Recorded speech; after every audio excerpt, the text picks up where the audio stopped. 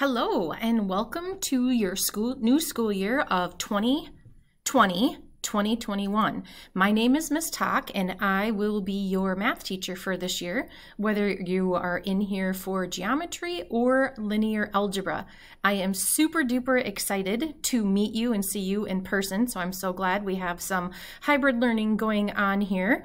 And I'm looking forward to seeing every one of your smiling faces in the classroom because I know you're just as excited to be here as I am Finally, we get back. Yay! All right, so a um, couple things about me. I grew up in northern Minnesota in a little town called Coleraine. Um, it's about seven miles from Grand Rapids, if you are familiar with that. I went to college at UMD in Duluth. I did play volleyball there.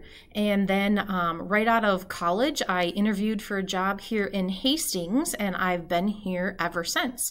So some of you may have some connections because I may have had your older siblings, or I could have even taught your parents because that's happening quite a bit these days. So um, it could be from that. I am married. My husband's name is Steve, so it's Stephanie and Steve. Um, he works at Xcel as a construction worker building scaffolds. And then I have three kids. You will be hearing quite a bit about them throughout the year when you're in class, probably on the online videos, probably not so much, but in class you'll be hearing stories and things about that when we take our brain breaks and different things. Um, so my oldest son's name is Ethan. He is going to be a senior here in Hastings, and some of his interests are hockey and lacrosse. This summer, his lacrosse took us to a few tournaments out of state into Wisconsin and even one into Indiana. I have a daughter, Emma, and Emma is going to be a 10th grader this year, and she plays soccer.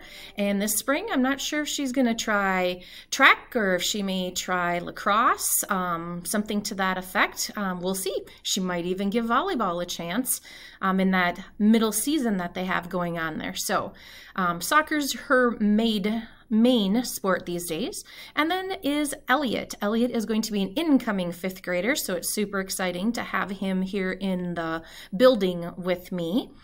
Um, so he, he's going to be, I guess, what you would call the gold pod.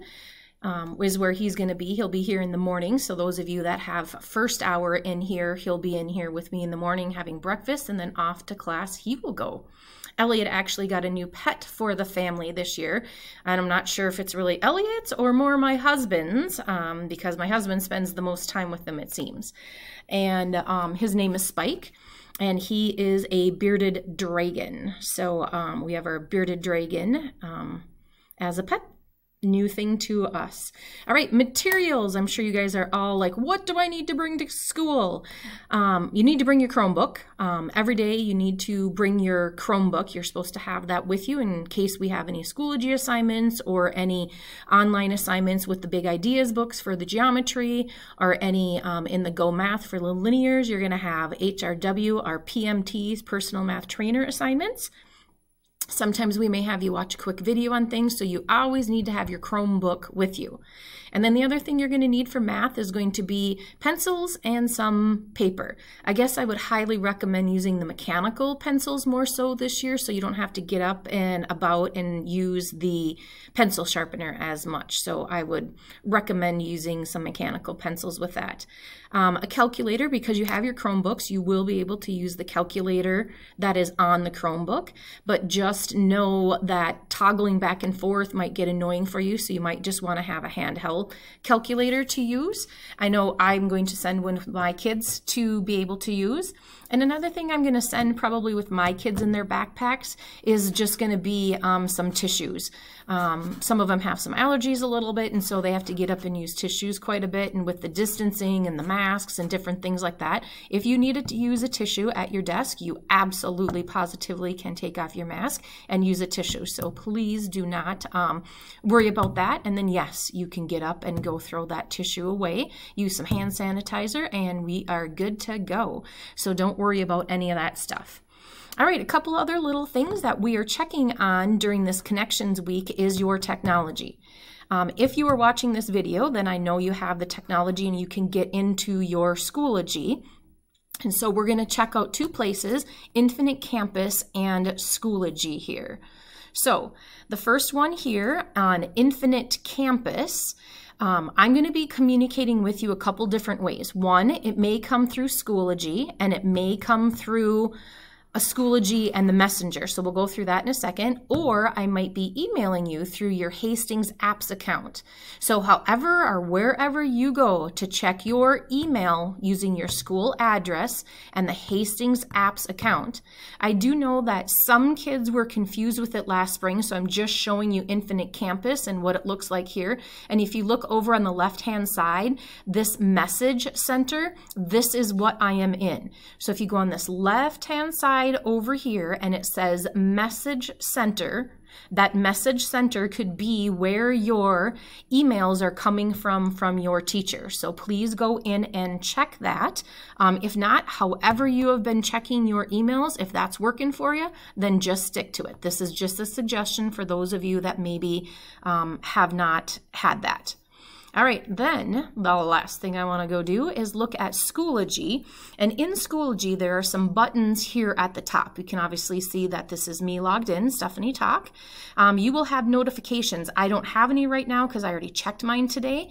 But when you check this right here, it'll say whatever notifications and the recent things that you have been notified by. The next thing here is this envelope, and this envelope in here is your Schoology message center.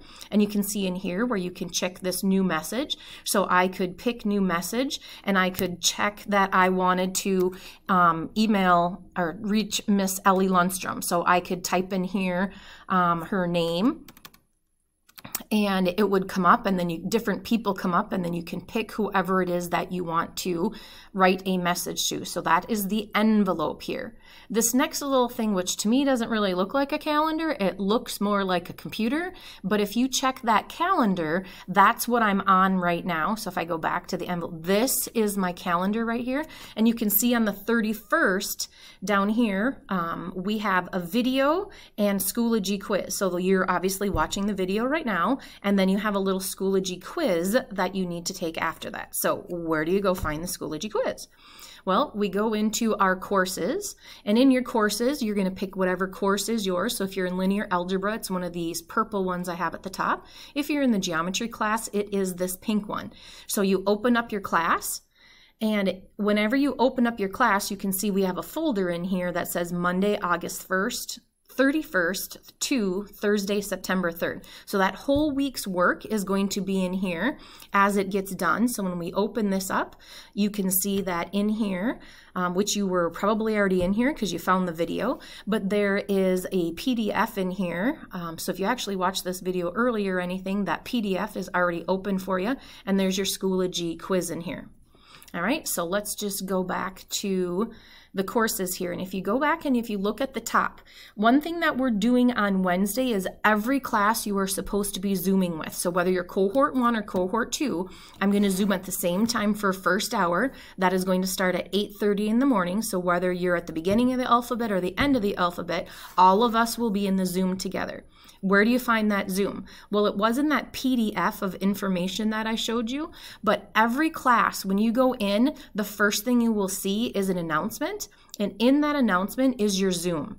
So you can click on that Zoom. That is the Zoom meeting that I'm going to have open all year long for you to get in.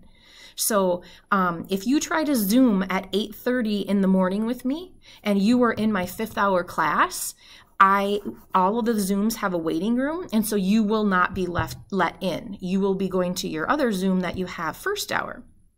So we may all be using the same Zooms, but you will only get in if you are actually in that class. Okay, so every class, so if I go look at my geometry class, and you look in here for geometry, again, at the top is the Zoom that they will be using. So all Zooms will be found at the beginning. And you can also see on this right-hand side your list of homework. So you can see in here that there's a homework assignment that you have to do today, and it is a Schoology quiz. Okay, that's how we're going to be taking attendance is by you doing something online. And it could be on Schoology. Sometimes I might have it on your online assignment, an HRW assignment. Um, but at home, there will always be something electronic that you will have to submit for attendance. It might just be a one attendance question, or it might just be a homework assignment. So if I have a homework assignment, don't panic if you don't have an attendance question because I can check your attendance from you doing that homework for the day. So, yes, you do need to do your homework every single day. You cannot wait on that. Let's say you're cohort one and you're in school Monday and Tuesday.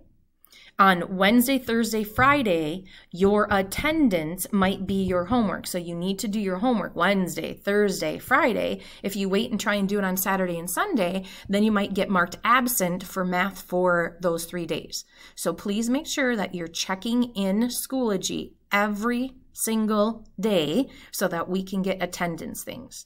All right, I'm going to wrap things up here and say goodbye and can't wait to see all of you, whether it's on September 8th or later that week on that Thursday, September 10th.